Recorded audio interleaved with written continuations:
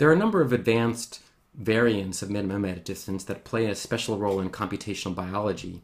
So recall that in computational biology, what we're aligning is sequences of nucleotides or sometimes proteins, and our job is to take um, two strings like this and produce an alignment like this. So in biology, this is important for a number of reasons. We can be um, finding regions in the in the um, genome. We could be discovering functions of genes. We could be looking for evolutionary things by comparing different species. Um, this is also important for um, assembling fragments. So DNA sequencing, we're going to be trying to assemble fragments, and we want to look for overlapping um, pieces. We'll talk about overlapping pieces and find some matches between them. Um, find that these two pieces match. Um, and we're comparing individuals and looking for mutations, finding places where there are similarities and differences. Um, in general, in natural language processing, we talk about distance, string edit distance and minimum edit distance. So we're minimizing distance and we're um, computing um, weights for things.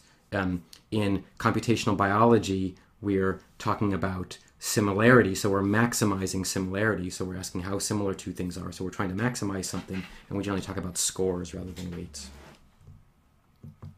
So in computational biology, the um, standard minimum edit distance algorithm that we've just looked at um, is called Needleman-Wunsch, and I've shown you the um, the algorithm here, but it's the same um, the same thing that we saw before. Uh, although in general, we're just going to keep um, we'll use D to mean the cost of insertions and deletions, and we'll have a little S value for the um, substitution, the positive or negative value of substituting things. And in general, in biology, we'll talk about a positive cost for things that match, a positive um, uh, value for things that match, and a cost for things uh, for deletions and insertions.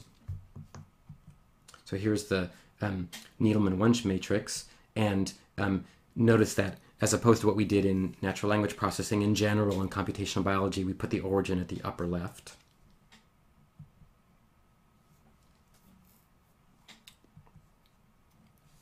So let's let's first look at some variants that are important in computational biology.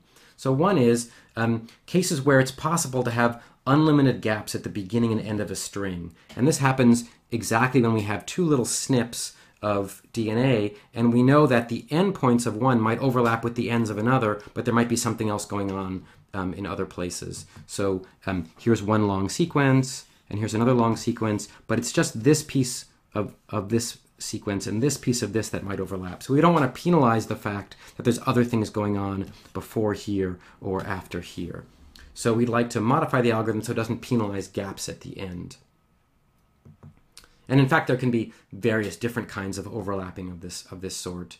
Um, this might happen when we're when we're doing sequencing and we have overlapping reads, um, or it might be that we're looking for a piece of a gene inside another piece, um, and so we have a subset piece inside a larger piece.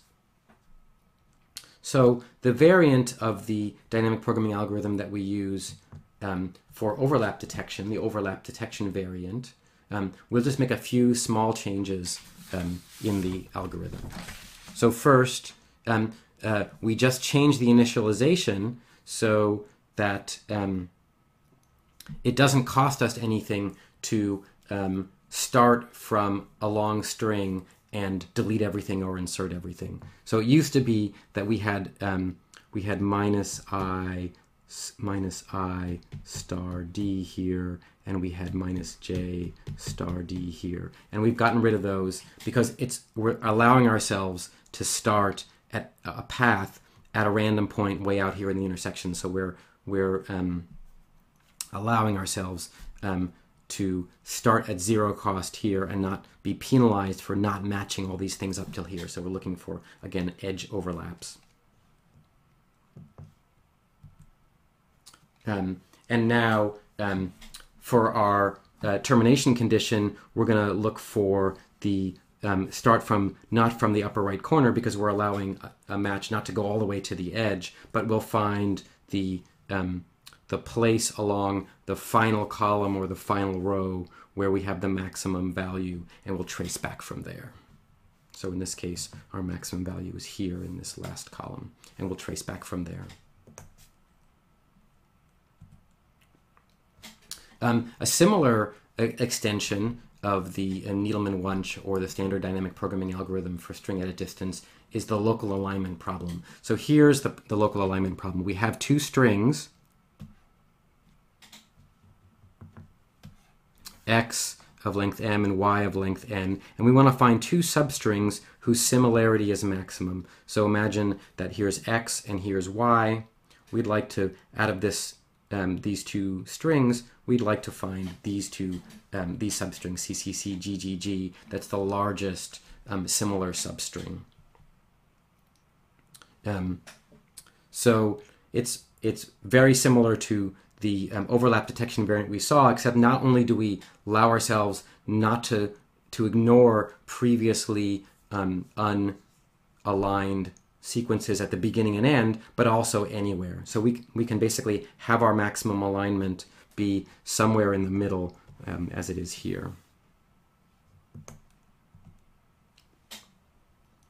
So in order to um, the, the, in order to modify the Needleman-Wunsch algorithm um, to allow um, any kind of local alignments, this is the new version is now called the Smith-Waterman algorithm, and we're first going to allow um, as we did for the um, overlap detection variant, um, allow um, the initialization conditions to be zero both for x and y, so we don't penalize ourselves for initial strings.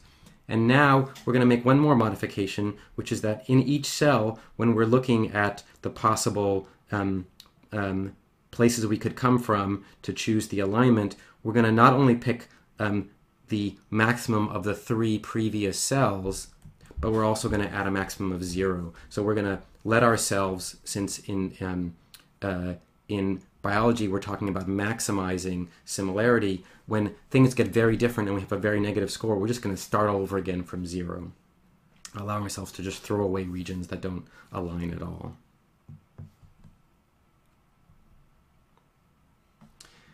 The termination condition of the Smith-Waterman algorithm um, uh, depends on what we're looking for. If we just want the best local alignment, we'll pick the place that's that's um, maximum in the entire array, and we'll trace back from there.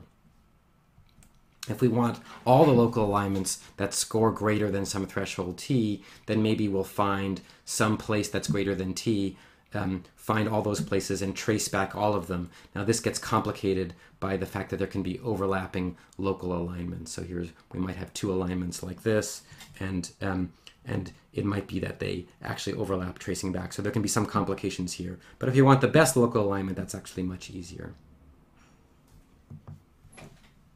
So here's an example of local alignment. So let's let's imagine that we're we're we're getting one positive point every time two symbols match, and a negative point for any deletion, insertion, and substitution.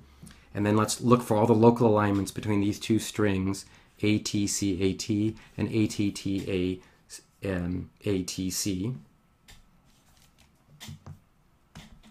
And if we fill in the matrix, again, we start with zeros everywhere because we're doing local alignment. Um, we see um, two if we then look for regions, uh, cells that have a maximum distance to trace back from, we see two of these cells.